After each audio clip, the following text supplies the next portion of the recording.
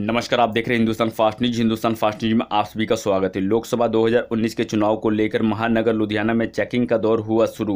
लुधियाना के विश्वकर्मा चौक में वाहनों की चेकिंग करते हुए थाना छः के इंचार्ज बलबीर सिंह, लुधियाना से रवि क्राइम पत्रकार की रिपोर्ट।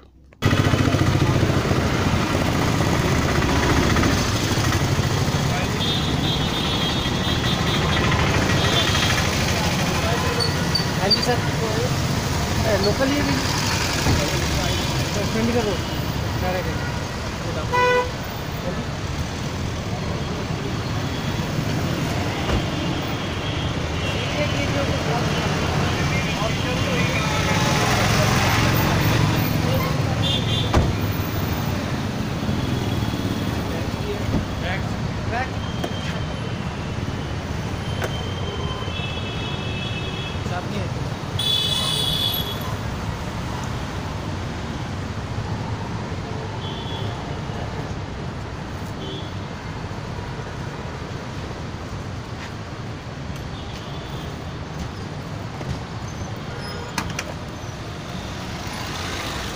ठीक है सर थैंक यू जी।